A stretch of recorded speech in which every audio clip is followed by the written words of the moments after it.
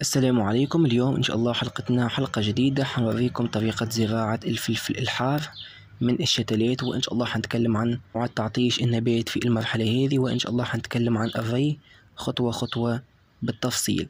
فطبعا قبل بداية حلقتنا أتمنى تعملوا اشتراك القناة ولايك إذا عجبكم الفيديو وتشاهدوا معنا الحلقة للنهاية.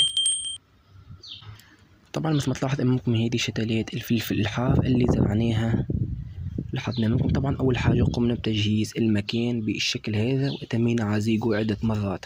وطبعا بعد ما قمنا بعزيق التربة عملنا الخطين بالشكل هذا.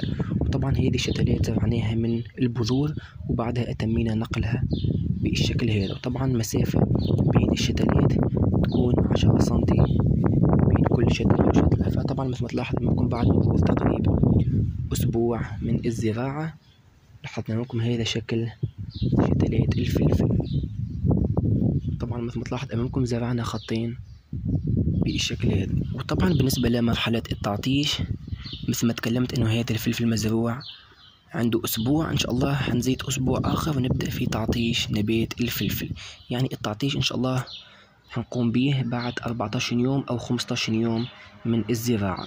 وممكن طبعا بعد 20 يوم طبعا على حسب حالة النبات. وإن شاء الله بالنسبة للتعطيش حنتابع معاكم خطوة خطوة. ولكن طبعا مدة التعطيش حتكون إن شاء الله أسبوعين يعني مش عشرة أيام. حيتم إن شاء الله تعطيش الفلفل هذا أسبوعين كاملين بدون أي رية وإن شاء الله إحنا حنتابع معاكم تعطيش الفلفل هذا. وطبعا بالنسبة للري في المرحلة هذه اللي هي مرحلة قبل التعطيش لازم يتم ري الفلفل كل ثلاثة أيام.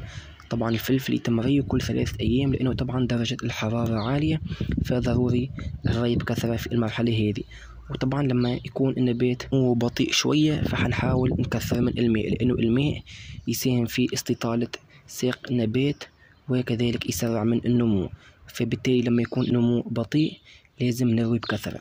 فإن شاء الله مثل ما تكلمت حيتم الري فلفل بالنظام هذا وإن شاء الله حنتابع معاكم خطوة خطوة الفلفل هذا. طبعا فلفل حار طبعا نوعيته مثل ما تلاحظوا على الشاشة. إن شاء الله حنتابعه خطوة خطوة لغاية الحصاد. أتمنى الحلقة تكون عجبتكم وعرفتوا كيفية زراعة الفلفل الحار وإن شاء الله حنتابعه حنتابعه خطوة خطوة في القناة.